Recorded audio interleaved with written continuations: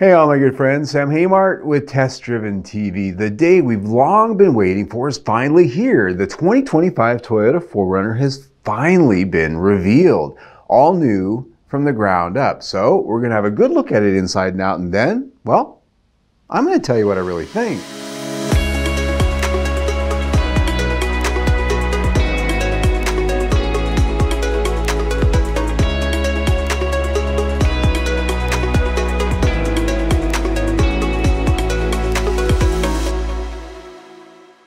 The wait is finally over. The 2025 Toyota 4Runner has finally been uncovered and made public for all to see.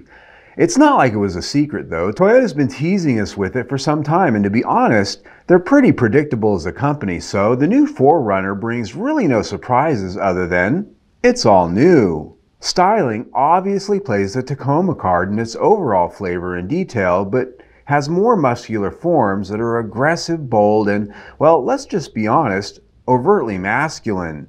It's not exactly the same, however, but continues the traditions which have made it popular, like its roll down rear window for your dog to hang out of, and a more truck like vibe than the sea of mom jeans crossovers that have permeated our world. Based on the same TNGA-F body on frame bones as the Toyota Tacoma, Land Cruiser, and the larger Tundra and Sequoia, it's grown in size just slightly. Wheelbase is 2.4 inches longer now at 112.2 inches. Length increases by 4.7 inches to 194.9 and it gets exactly 2 inches wider. So it's bigger overall.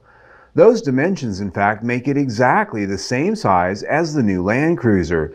So what is the difference between the two besides styling and price? Mechanically speaking, it's virtually identical with the exception that it has a solid axle rear suspension with 5-link setup from the Tacoma, where the Land Cruiser has a fully independent setup. A dizzying array of nine, count them nine trim grades will be available for 2025, starting with the SR5, and then the TRD Sport, TRD Sport Premium, TRD Off-Road, TRD Off-Road Premium, Limited, Platinum, TRD Pro, and Trailhunter. That's a lot. Powering the 2025 4Runner are the same exact powertrains that come in the new Tacoma, including a standard 2.4-liter turbocharged 4 with 278 horsepower and 317 pound-feet of torque.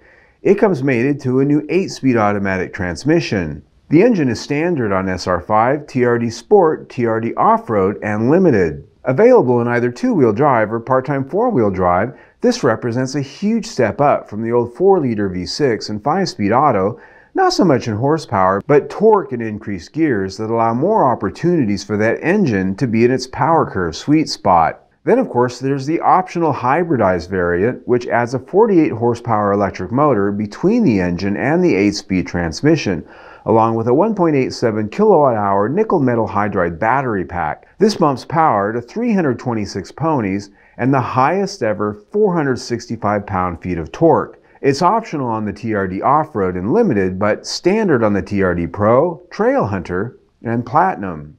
Both new powertrains, along with a significantly upgraded full box ladder frame, brings towing capacity up to 6,000 pounds. As mentioned, 4Runner comes standard with two-wheel drive and lower trims with an automatic limited slip differential. 4Runners with the part-time four-wheel drive have an electronically controlled two-speed transfer case with high-low range and the brake and software actuated active traction control, or A-TRAC, in addition to the automatic limited slip differential.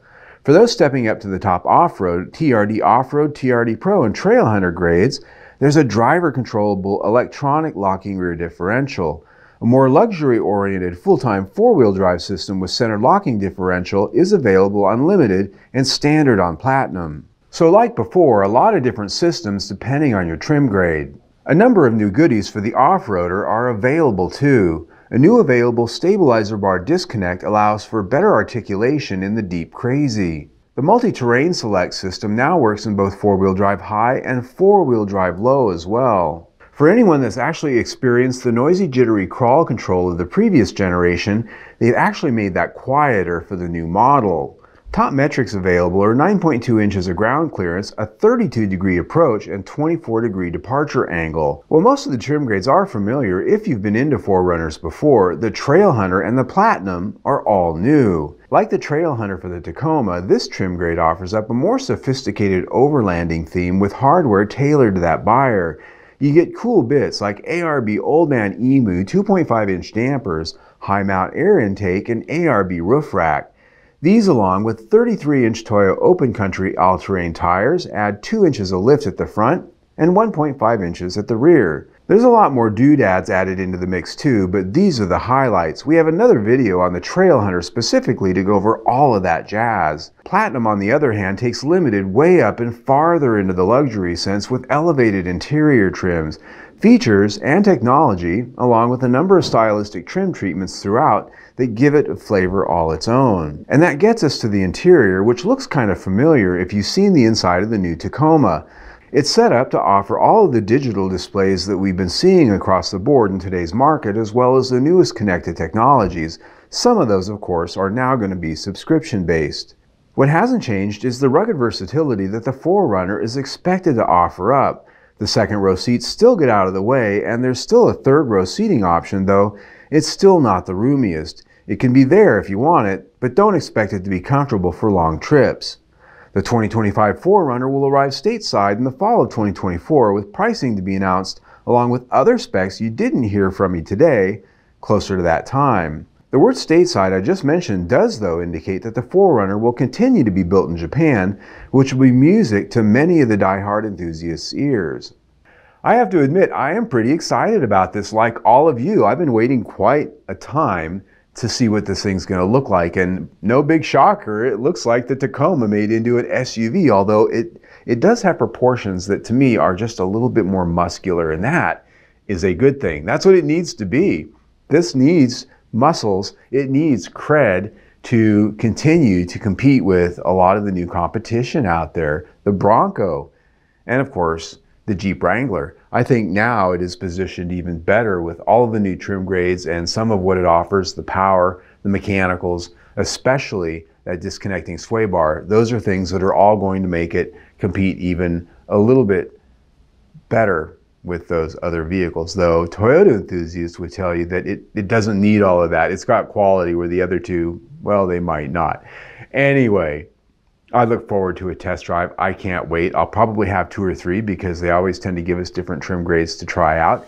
And we do have a video specifically for the Trailhunter right there that really gets into the nuts and bolts of what it offers. You can see that there. You can also subscribe to your YouTube channel right there. Either way, stay tuned.